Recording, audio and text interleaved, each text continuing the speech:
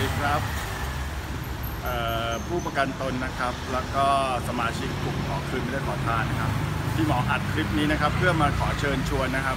ผู้ประกันตน และก็สมาชิกในกลุ่มนะครับ ช่วยกันแชร์ออกไปนะครับ วันนี้วันที่ 18 แล้วผ่านมา 18 วันนะครับ เหลือเวลาอีกประมาณแค่ 12 วันนะครับ ตอนนี้เรามีสมาชิกเท่าไหร่ครับ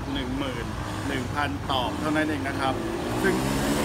ได้เลยครับว่าจำนวนเนี้น้อยมากเมื่อเปรียบเทียบกับเอ่อผู้ประกันตน 16 17 ล้านคนนะครับ เพราะงั้นใครที่เห็นคลิปเนี่ยที่หมออยากให้ช่วยกันนะครับ ช่วยกันแชร์ออกไป แล้วก็ช่วยกันเออบอกกล่าวนะครับ ให้ผู้คนเนี่ยเข้ามาทำในสามหัวข้อนะครับ ว่าเราทำเรื่องเกี่ยวกับประชาพิจารณ์ในเรื่องเกี่ยวกับหนึ่งก็คือการที่เรามีสิทธิ์ที่จะเลือกนะครับขอรับเงิน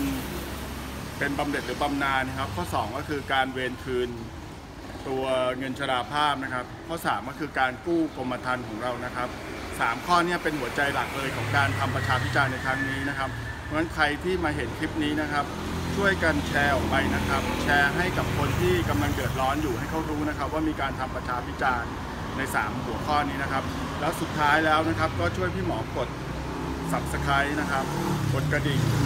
แล้วก็กดไลค์กดแชร์ คลิปนี้ออกไปนะครับ หวังว่าเมื่อวันที่ 30 เนี่ย ที่หมอตั้งเป้านะครับ ขอให้ได้แค่20,000คนเท่านั้นครับขอบพระคุณครับ